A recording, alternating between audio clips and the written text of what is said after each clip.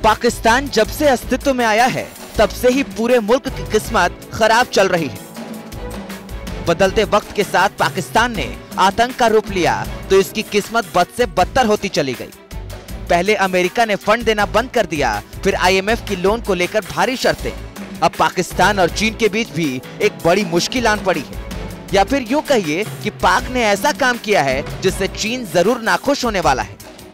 दरअसल पाकिस्तान ने अपनी अर्थव्यवस्था की मंदी का हवाला देते हुए पाक चीन इकोनॉमिक कॉरिडोर को अगले वित्तीय वर्ष तक के लिए न सिर्फ़ काम रोक दिया है, बल्कि साथ ही साथ पूरे बजट को ही चौवालीस फ़ीसदी तक कम कर दिया है। ऐसी स्थिति में तो कई सालों तक ये कॉरिडोर पूरा होता नज़र नहीं आ रहा है। इसके अलावा इस पर मौद्रिक सख्ती भी चला दी है, जिसके चलते पाक और चीन के रिश्ते खट्टे हो सकते हैं। क्योंकि चीन ने पाक पर भरोसा करके उसके साथ इकोनॉमिक कॉरिडोर बनाने की तैयारी की थी। लेकिन अब जैसे ही गेंद पाकिस्तान के पाले में आई है तो पाक अपनी मनमर्जी करने लगा है, जो कि ज़ाहिर तौर पर चीन को रास नहीं आने वाली है। ऐसी स्थिति में एक बात तो साफ़ है कि पाकिस्तान की सरकार इन दिनों चीन के साथ बन रहे इकोनॉमिक कॉरिडोर को अपनी प्राथमिकता में रखना ही नहीं चाह रही है।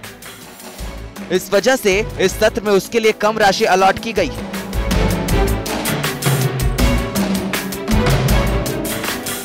यही नहीं, पाक सरकार इसके अलावा वो जनता पर भी काफ़ी भारी भरकम टैक्स लाद रही है, जिसके चलते इमरान खान की लोकप्रियता अपनी ही जनता के बीच में गिरती चली जा रही है। ऐसी स्थिति में कहीं ना कहीं पाकिस्तान की साख कम हुई है और ये अपने आप में उनके मुल्क के लिए परेशानी का सबब बन सकता है।